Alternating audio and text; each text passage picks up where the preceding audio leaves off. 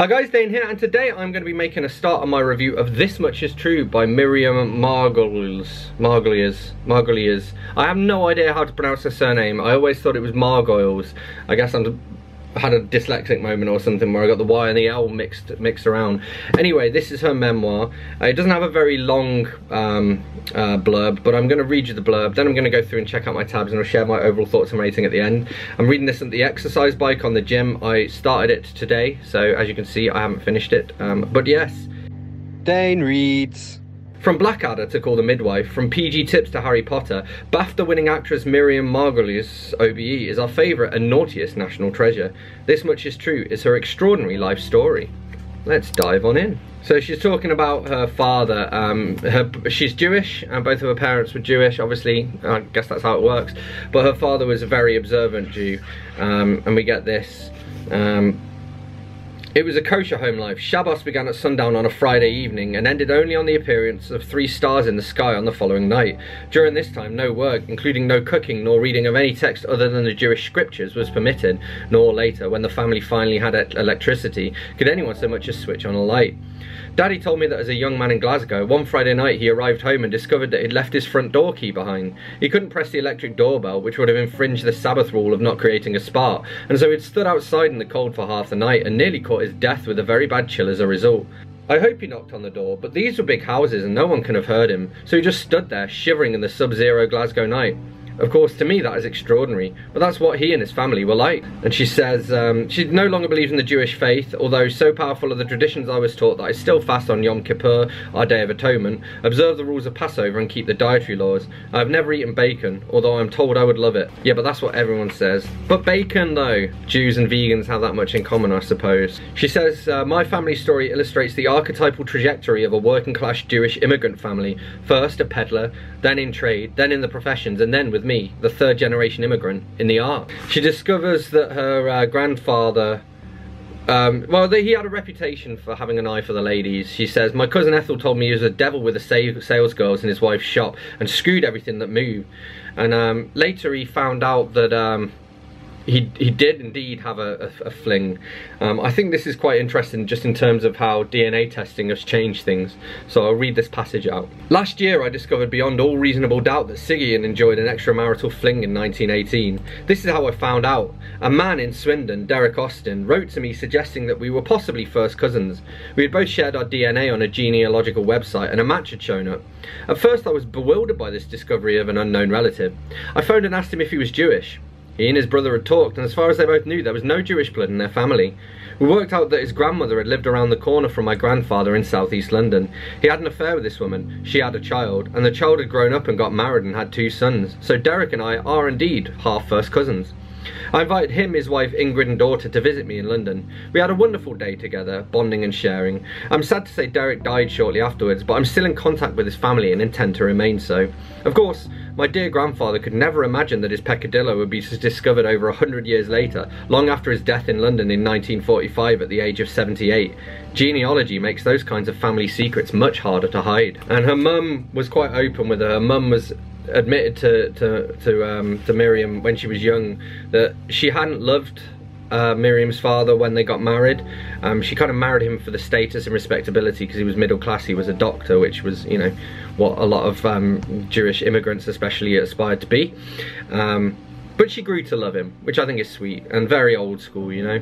So we learn a little bit about about um, her birth and you know how her parents came to have her uh, which I think is quite interesting. It's interesting the way that her mother, you know, has this superstition, but also this little um, bit about Hitler is interesting as well. Daddy was 42 when I was born in 1941. Ruth, my mother, was 37. They were relatively old to be having a first child, but it was deliberate. Most newly married couples tried to have children, but for 10 years my parents tried not to. It was my mother's wish. Two of her cousins in South Africa had died in childbirth, and she was terribly afraid it was a family curse and that the same fate would befall her. So, for 11 years after their marriage, no child was born. But eventually, at the beginning of the Blitz, to Mummy's despair, she conceived. I was told it was the terror of an air raid pounding above the cellar where they were sheltering that allowed Daddy in and me to be born. Mummy always said that was why I had curly hair. She wanted desperately to have an abortion, but it was against the law and no one would do it. So she held on to me and never, for the rest of her life, let me go. It was in early 1941, when mummy was four months pregnant with me, that my parents were bombed out. The house in Plaistow had a direct hit. They lost everything. They fled to Oxford because people said that Oxford would never be bombed, and it never was. Apparently, Hitler had planned that it would be his capital when he won the war because it was such a beautiful city. The other, more pragmatic reason why we ended up in Oxford was that their car, a Morris Oxford, was already in a garage there for repair, so they left London on a train and came to Oxford with nothing but the clothes on their back. She talks about her, her earliest memory, and this sounds like the kind of thing that I would have thought as a kid. My earliest memory is of sitting in my pram, sucking my thumb, in the front garden of our flat on Banbury Road. A woman came up and said, if you do that, a bogeyman will cut it off. I was only two, but I thought, that woman's mad, how stupid of her. Of course there isn't a bogeyman, no one's coming. I was immediately sceptical and convinced I was right. Nothing has changed. And her mum had a, an interesting habit. She says, Mummy was extremely house proud and she did all the housework in the nude. It was a tad discomforting for our maids and au pair girls, but she liked to get it done, then have a bath. She talks about her auntie Muriel. Her mother's called her the scum of the Liffey. Uh, mummy saying, to, she says, I remember mummy saying to her once, when you go past the dustbin, you don't lift the lid. I don't know, I don't know what that means, but it is obviously an insult. And she says, uh, she she was she was in her bedroom and I remember vividly that Muriel came in, her auntie Muriel, and shut the door behind her. Then she stood in front of it, her back against the door the way they do in Hollywood movies. She said to me in her Irish accent, smiling slightly, Your mammy doesn't love you. What a shocking thing to say to a child. I knew that even then. I replied, Of course she does. What do you mean? She said, No, your mammy doesn't love you because if your mammy loved you, she'd buy you nice clothes and she'd do your hair nicely and then you'd look nice, but you don't look nice, so your mammy doesn't love you. Such a statement could have been incredibly destructive for a child, but I had complete confidence in my mother's utter devotion to me. I replied, oh, don't be ridiculous. Of course she loves me. You're quite wrong about that. She talks about one of her teachers, Miss Chase, who she loved. She says, I don't know why I loved her so much. I can't remember anything about her or any reason why I should have felt so desperately, passionately involved, other than that she had golden hair, a white face and red cheeks like an apple. It was Miss Chase who was responsible for my first orgasm when I was eight. I was walking past her house in Banbury Road with my mother, and as I approached it, I felt this overpowering heat in my loins that was deeply pleasant and rather exhausting. She wasn't even in sight, there was no friction, it was simply the power of longing and despair. Okay then. I was much older than eight when I had my first orgasm, and it was not to do with a teacher. And she got into a lot of trouble at school. She says, no other pupil would match me in my outrageousness until Tatty Katkov came to Oxford High School. I was always in detention. I always got caught. I remember when I was given a detention for a Thursday afternoon for some transgression or other, I was obliged to say truthfully, oh, I'm sorry, I can't do that, as I'm already booked for a detention on Thursday, but I could fit Friday in. We get a reference to a mum going to High Wycombe, furniture capital of England, which is where I live. She said uh, her mum often quoted her grandmother's warning, spoken in a German accent, never trust anyone until hair grows in the palm of their hand. As we all know, hair never grows in the palm of your hand. When she had her first period, I think she said she was 11, um, and she, her mum used to kind of use like homemade sanitary towels basically. She didn't get a tampon until later. But this is a story i've heard happen like to other people and more recently as well that um you know it's a problem. People don't teach kids um how to how to use tampons I guess. Anyway I'll read this whole this whole paragraph because I think it's interesting. Mummy used to call it being poorly so of course it always had a negative connotation. It was worrying because when you were playing hockey you didn't want blood to come through your clothes and be seen. That was always the major anxiety when you had a period. We used to worry about it a lot and think can people smell it? Does it show it was the thing you wanted to hide more than anything. You didn't want anyone to see you changing a sanitary towel or dealing with its disposal. Eventually I discovered I didn't have to make my own anymore. Ready-made sanitary towels were available at the chemist. Much later on, after I left Cambridge, Tampax arrived in my life. A friend shouted instructions through the loo door in a Soho restaurant. Even with her help, I suffered greatly as I inserted and left the cardboard sheath inside me too. She hadn't explained it was merely the cover and the real deal was inside and that's happens a lot. I've seen people on TikTok talking about that happen to them as well. Okay, and then she talks about, I guess her sexual awakening, but also she just talks about being molested basically. Um, she's talking about her breasts. I remember an American soldier clapping his hands over them in the street when I was about 12. He didn't hurt or frighten me. I think he might have been drunk as his pals pulled him away from me before anything got nasty. I was quite flattered by the attention. Two of my father's patients molested me. One had a motorbike and took me for a spin into the country. He stopped the bike, took me into a field and asked me to stroke his inflamed member. I did so willingly, stirred by the experience, but not shaken. After I told my parents I was never alone with him again. Alright, so she talks here about her early exposures to sex. Uh, she got a reputation for doing a, uh, giving a good blowjob apparently. Um, so yeah, she met someone called. Uh, well, I'm just going to read this these three paragraphs out. I then fell in with a group of other older men. I met them when I modelled at the Ruskin School of Art. I used to go along and stand or sit there, fully clothed, facing the class. Standing or sitting still for a long time could, of course, sometimes get a bit boring. But I met and had coffee with the artists, and I quite enjoyed that. One was a retired army officer in his 70s, of impeccable bearing. My parents thought he was delightful, called Major Harding. He was aptly named as he was an experienced groper, but not scary. His advances were gentle and almost affectionate. He talked about my eyes a great deal and then moved on to my breasts. He asked if he could stroke them. I was 17, well brought up, but what woman doesn't like having her breast stroked? I responded merrily to Major Harding, and when it became clear to him that I wouldn't fuck but I would suck, we were on a roll. We met often to go to the cinema or for Sunday tea parties. His pleasure gave me pleasure and proved the template for my sexual activities until I was initiated into the joys of lesbianism. I did a great deal of sucking off because I seemed to be good at it, and it was all I could do. I remember a lusty Hungarian student who once achieved orgasm seven times in a session. So good for him, so tiring for me. I wasn't going to fuck, you see. I knew I wasn't going to do that because I promised my parents I wouldn't. They were highly conventional and deeply moralistic. They couldn't imagine a relationship outside marriage, and it impressed on me that I mustn't have sex. Pregnancy would result, and their hopes and dreams for my future happiness would be destroyed. The subject of sex was difficult for my parents, especially where I was concerned, and indeed possibly where they were concerned too. In those days, a respectable female could not give vent to sexual longings. Intercourse resulted in unwanted children, and masturbation was dirty. That's how it was in the 50s and 60s. Jewish girls are known for sucking off. The man is satisfied and we don't get pregnant.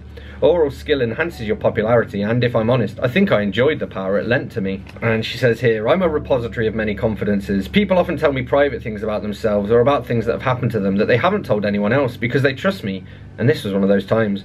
Many women come to lesbianism later in life after marriage and children. I've been the confidant of a surprising number of straight women who fall in love with a person, not a sex, and now it's easier for them to follow their emotions and find happiness. It delights me. Um, she talks. She's talking here about somebody she knew who was transgender. Um, she says. Uh, it is the vulnerabilities in people rather more than their strengths which allow us to love them, which I think is a beautiful thought. She goes to see, um, she goes to pose naked for a, an artist called Augustus John. She says, uh, Of course, my parents were very interested to know if Mr. John had behaved himself, and he had. I had nothing untoward to report on that front because he'd comported himself quite impeccably. I'm not sure that I shouldn't be insulted that he didn't attempt at least a quick grope, or whether it was Dorelia's watchful eye that ruled out any unseemly advances, because I later discovered that Augustus John's insatiable sexual appetite had allegedly resulted in his fathering up to 100 offspring. Supposedly, whenever he walked down the King's Road in Chelsea, he would pat any passing ragamuffin on the head, in case it's one of mine. She talks about uh, she was steeped in Jewishness. Every time somebody came on television, Mummy would say he's Jewish. Uh, we were thrilled when Frankie Vaughan got to number one in the hit parade. He was called Vaughan because his grandmother said to him in a thick Yiddish accent, Frankie, you are my number one grandson. When she went to Cambridge, she was finally allowed to own a bicycle, but she was too short to uh, reach the ground by lowering her feet from the pedals, so she had to fully dismount every time she reached some traffic lights. Some amusing little lines here not very vegan, but um, she says, uh, I've always felt that smoked salmon was an essential ingredient of any social occasion, but it must, like a woman, be moist. And she talks about the uh, US invasion of the Bay of Pigs and the very real threat of a nuclear war. Um, her friend Liz said, We were certain that the world was going to end in a nuclear holocaust, and when it didn't, nothing has seemed quite so bad ever since. Oh, and she was on um, University Challenge. She was. Um, she was the first woman to say fuck on TV, although they did obviously edit it out before it, it, it, it, went on air. And she had an incident where basically she had to hit, she had to like hitch a ride on a boat, a boat. Um, and the guy, well, she says, then I saw that you're taking his penis out of his dungarees and he was enthusiastically masturbating. I thought, blimey, what am I going to do? I don't want to get raped, not on the sea. So I got up, went over to him and tossed him off. And her friend, when she told that story, thought that she meant she, she threw him overboard, which she did not. This was interesting because here she talks, um, well she says radio drama taught me that you should always talk to an audience as if it's one person.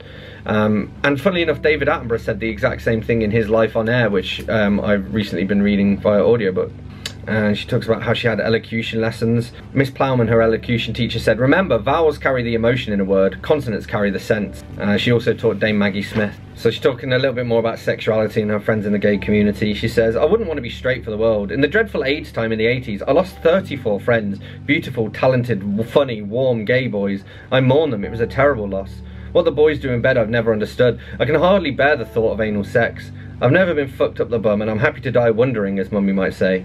But I won't castigate anyone for their sexual practices unless they're cruel or violent.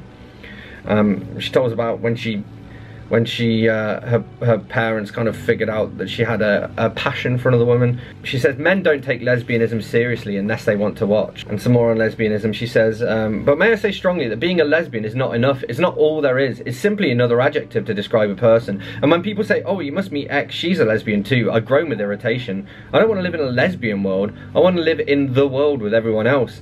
I would never deny my sexuality. Indeed, I'm often accused of trumpeting it far too stridently and often. But please don't shut me anyone else in a lesbian cage. Some gay women only want to be with gay women. I don't. I pick the people in my life because of who they are, not because of who they sleep with. Let's open the closet and take our place in the world, which I think is a beautiful sentiment. She says, life's like cheesecake, you want to have as much as you can. And um, she came out to her parents and then pretty much straight after her mum had a stroke. Um, and she always felt as though she'd caused her mum's stroke and um, she kind of wished that she hadn't come out to them. She says, I realise now that telling people things that they can't deal with is an indulgence. I believe that if people want to reveal their sexuality, they, sh they should, but the matter should not be forced. Some people cannot accept their loved ones being homosexual, and if they can't accept it, they shouldn't have to. It's indulgent of those of us who are gay to say, you've got to know this, you've got to share this. I don't think that's right. Of course, it's better if people can be open with the people they love and talk about it with their family. It's always better if everybody can truly be who they're meant to be. But my insistence on opening up hurt the people I love most in the world. My friend Ian McKellen and I have a constant difference of opinion on this matter. He feels that you should come out as an encouragement to others and be true to yourself. And I say, it depends who you're coming out to. It hurt my parents too much, and it didn't please me particularly, so I think it was an error. And I think that's the thing is it's a decision decision everyone has to make, you know. I think some of the worst things are when like tabloid press like outs a celebrity and they're forced to come out and make a statement saying that they are gay or lesbian or bisexual or whatever it is before they're ready.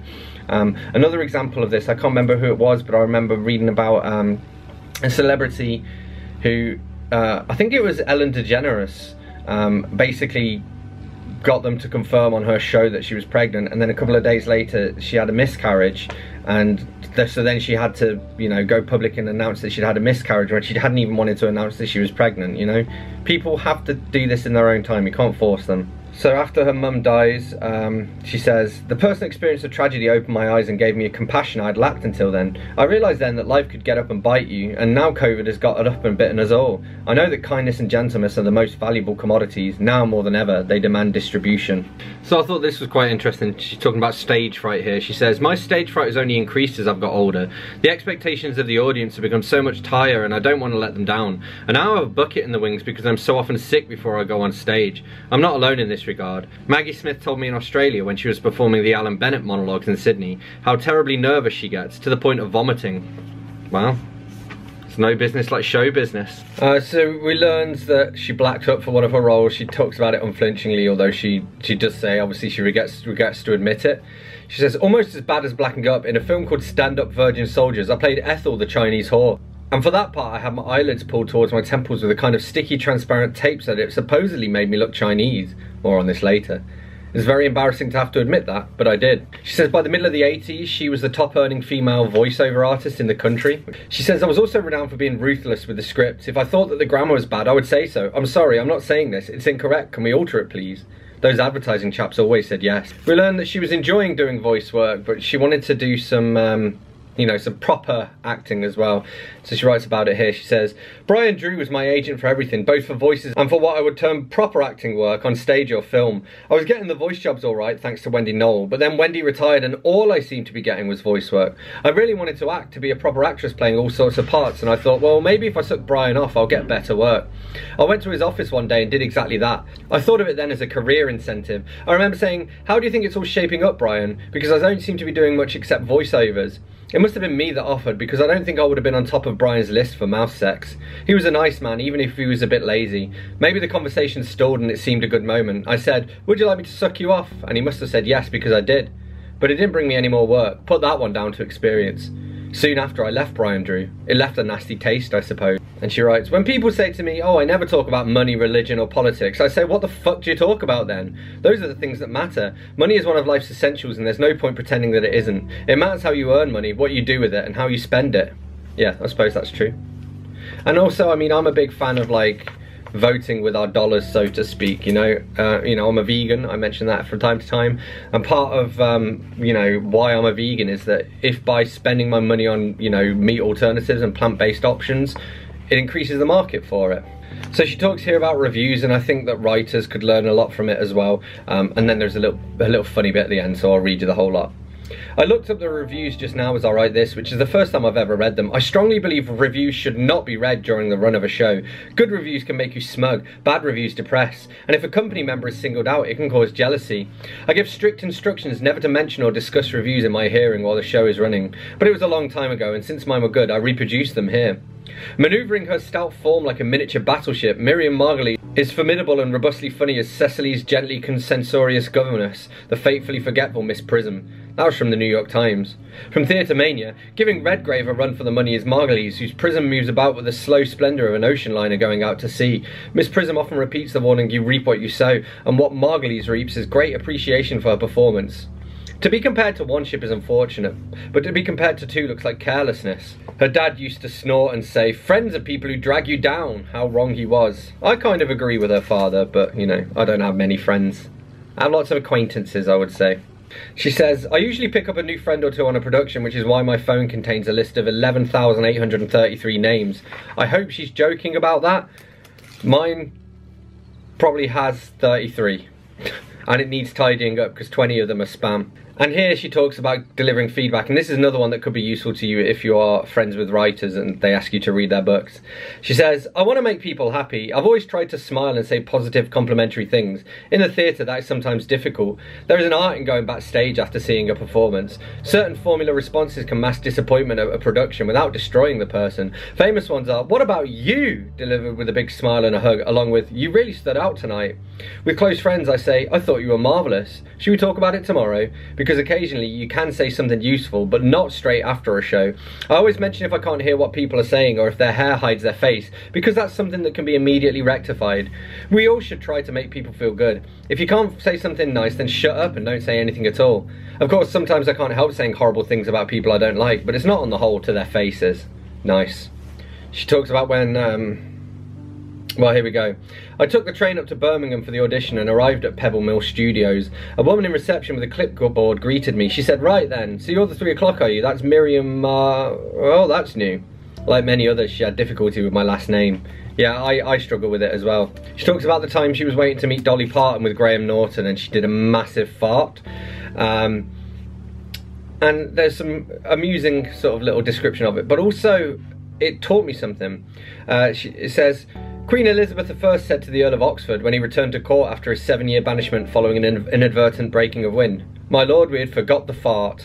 And she talks about Rowan Atkinson here, who she worked with on Blackadder. And funnily enough, I wrote an article recently for a client on people who struggled with public speaking, and Rowan Atkinson was one of them. Um, and she says here, although I didn't know many of the other regular cast members personally, I instantly liked Rowan Atkinson.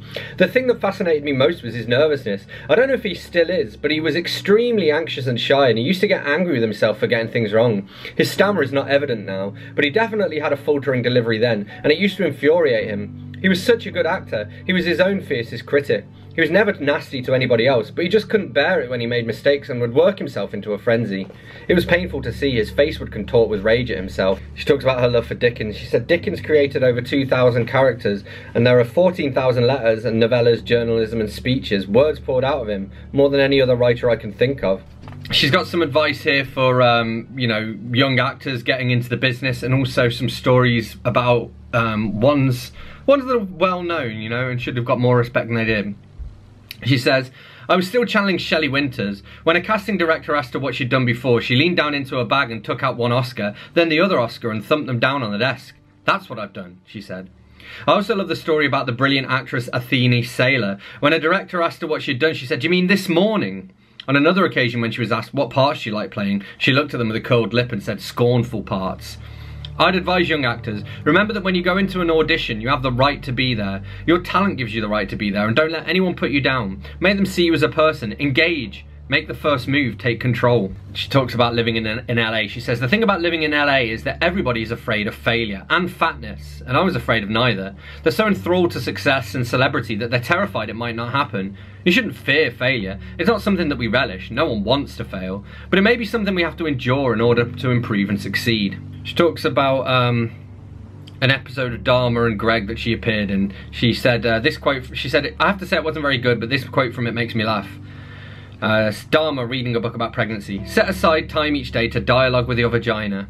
Greg, is that the new Harry Potter book? Foreshadowing what's to come later on. So she talks about Warren Beatty. Um, I don't personally know a huge amount about Warren Beatty, but she characterizes him pretty well here, I think. I, I think I know all I need to know about Warren Beatty from reading this.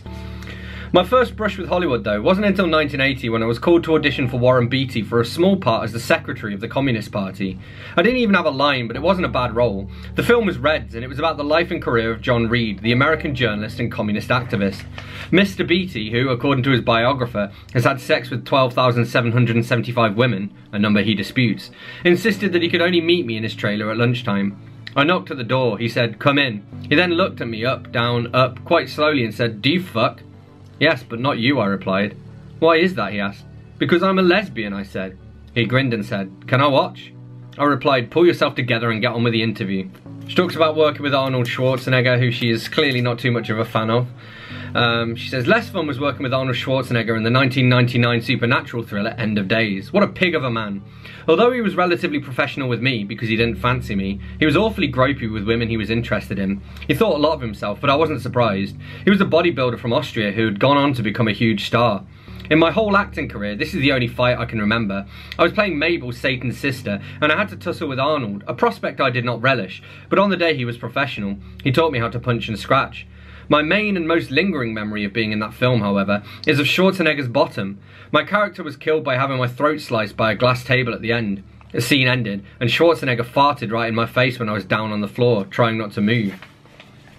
It was such a noxious cloud, I shouted, fuck you, Arnie. I think he did it because I'd farted on set and he felt a tit for tat was due. She's talking about uh, things she did with Barbra Streisand. Um, I don't have that much respect for Barbra Streisand, but purely because of the Streisand effect, which is that when you try and suppress information, it just ensures it spreads more widely. She tried to get Google to remove her house from their Google aerial maps.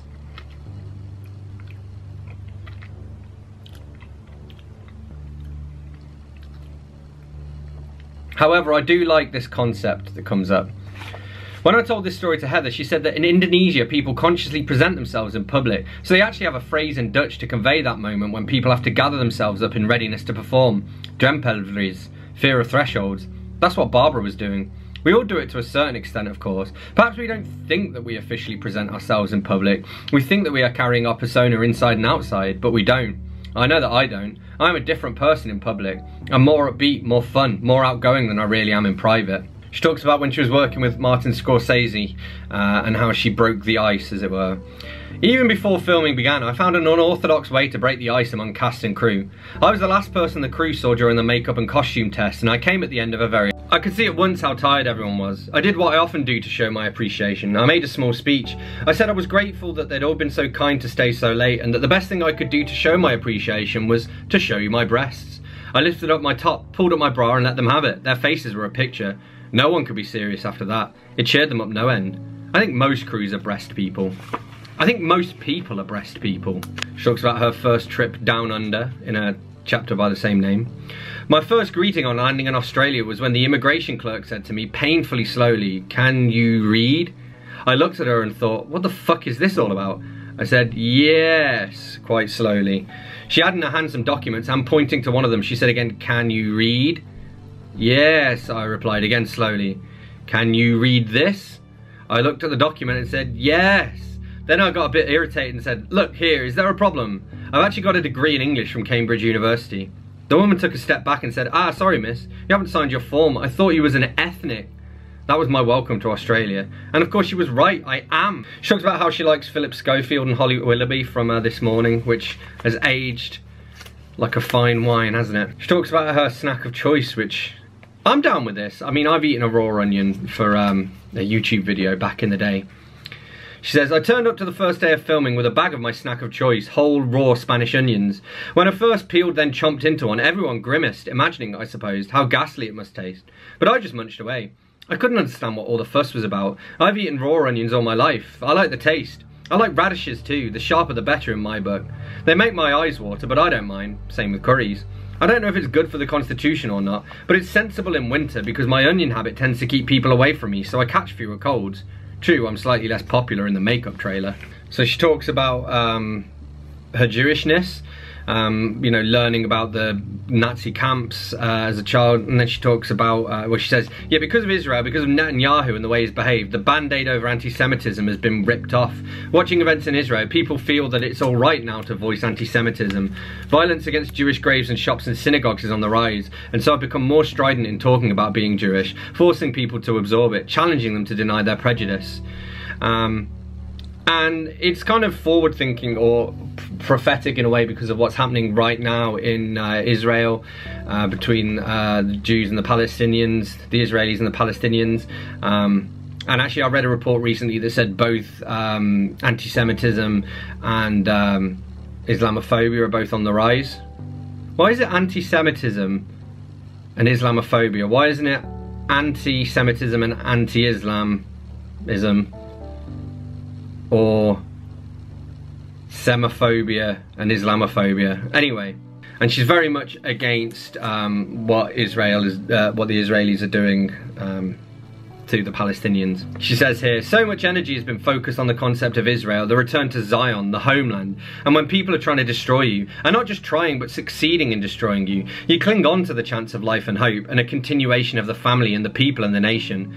But when the Zionists reclaimed Israel, they didn't take into account the Palestinians who were already living there. What were they supposed to do? Were they supposed to disappear?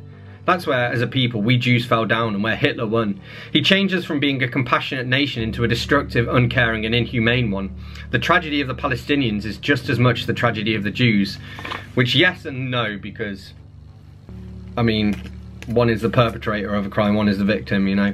Although then you do have the other way around, you do have then, you know, um, Islamic militants and stuff trying to free Palestine. So it's I don't publicly talk about my views on um, on on the conflict in the Middle East because, well, what am I? I'm not Jewish. I'm not um, Muslim.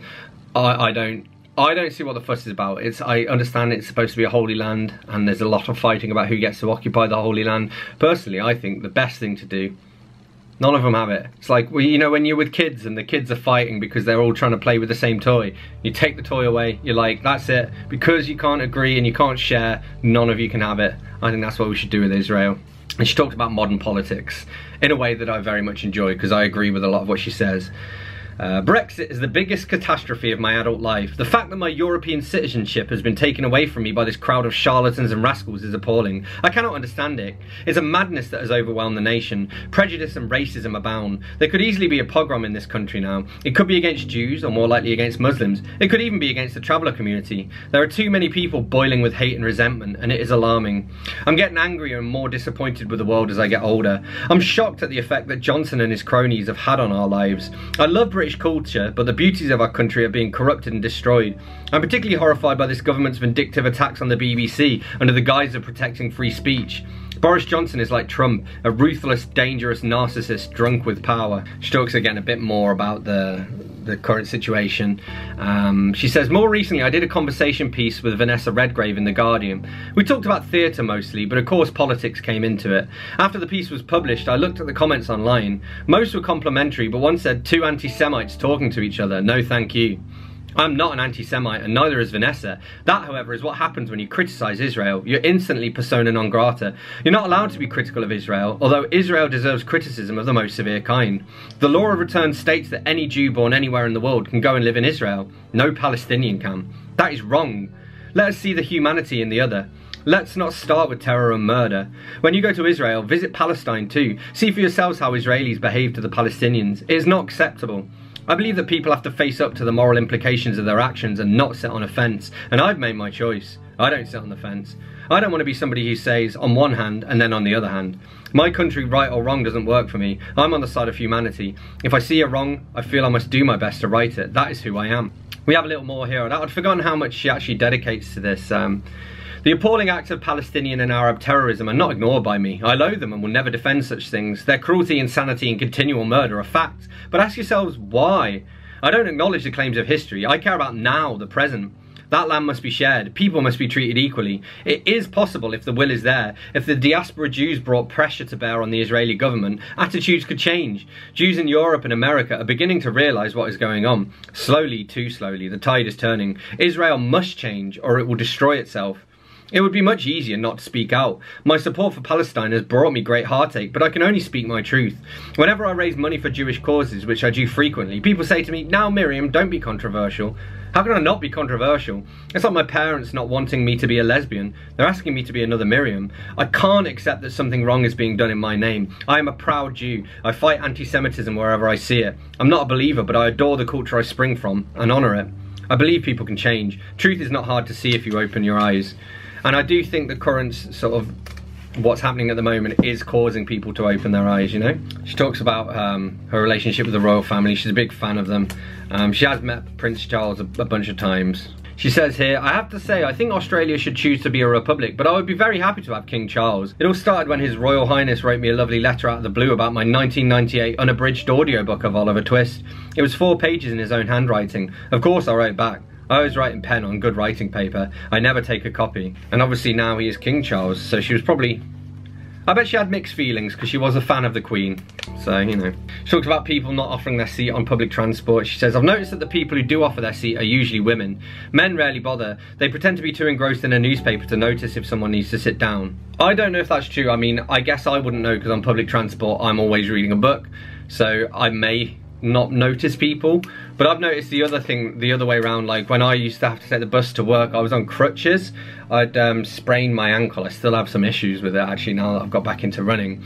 But I'd, I'd sprain my ankle and was on crutches and I had to get the bus to work and nobody would let me have a seat because I was a young man. But I was on crutches and then so uh, inevitably at one point the, the bus broke too quickly and then I went arse over tit and hit the floor and nobody helped me up either so yeah that was nice but normally if I see somebody who needs a seat I'll give it to them because I don't mind standing anyway as long as I'm not on fucking crutches she talks about being cast in uh, the lady in the van um, she says I was so nervous about taking on the role that I went round to Alan Bennett's house to get his blessing um, I love The Lady in the Van. Uh, the book of it's great as well. I've not seen the play. I've seen the movie of it um, and read the book.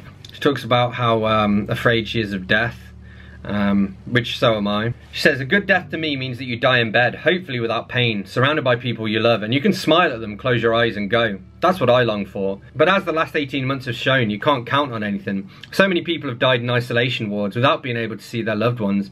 The pandemic has even removed the therapeutic side of funerals. Funerals don't work on Zoom. The whole point is the living, breathing people. I want to see all my friends and fellow mourners and be able to talk and sing and cry together, sharing our memories of the person we're there to honour, and experience the black humour, finding joy in those shared memories of the dead. That's what I love most about funerals. I think laughter is better than God. Um, and obviously that's interesting because to kind of almost end the book with there's a little bit more here um, including a chapter on dirty talk um, but obviously I mean she is 80 plus so she doesn't have too much to go, unfortunately. She talks about how she joined the Apostrophe Protection Society, as that little mark is also rapidly becoming another lost cause. It's a war I'm still fighting, but on my own now, as sadly the society is closed down. Um, I've heard of the Apostrophe Protection Society and considered joining it myself. And interestingly here, she kind of notes that when you're writing a book, it's different to being in a play or uh, because you can't see what the audience makes of your performance. She says one of the best moments of a performance is waiting in the wings after the curtain has descended, when you know you have given your all, remembered every line and cue and the audience has responded as you hoped, laughing at the right moments and being moved at others. There is always a hush and a caught breath as you wait for their reaction. It's not like that with books. I don't have a clue how the various acting scenes in my life have gone down with you, my dear reader. I hope you've enjoyed reading it. I've enjoyed living it. But now I realise my days, like these pages, are numbered. William Saroyan wrote, everybody has got to die, but I've always believed an exception would be made in my case. Given its inescapable nature, therefore, I want to do it well. In interviews now, I'm always asked, are you scared of death? Of course I fucking am. Absolutely shit scared most of the time. But death itself is just the end of things. It's the dying that's the problem. The last two years have been particularly difficult to bear. As a fat, old person, the threat of the pandemic is immediate and real. During lockdown, I wouldn't even leave the house to go to a shop. I was too nervous. That may be why I'm so rude and noisy a lot of the time. I'm trying to keep the Grim Reaper away, and so far, it's working. Well, Miriam, uh, as you can probably tell if you've watched to this point in the review, I did enjoy reading this book. I think there's... Uh, it's one of those um, sort of autobiographies you could enjoy even if you didn't know who Miriam Margolyes was, but um, if you do, you're going to get a little bit extra out of it, obviously. Lots of food for thought. Again, ton of discussion stuff. I noticed as I'm filming this, this is probably the most raw footage I've had for a review in a long time. Certainly more than I normally have for a fiction book because there's just so much I wanted to talk about and share. Um, again, I guess it's partly because she's lived for 80 plus years, so she's had a long life and um, lots of experiences to talk about. But yes, I gave This Much Is True by Miriam Margolyes a 4 out of 5, yeah. So there we have it, that's what I made of This Much Is True by Miriam Margolyes. As always, don't forget to let me know in the comments what you thought of this book if you read it. Hit that like button if you've enjoyed this video, hit that subscribe button for more, and I'll see you soon for another bookish video. Thanks a lot, bye bye.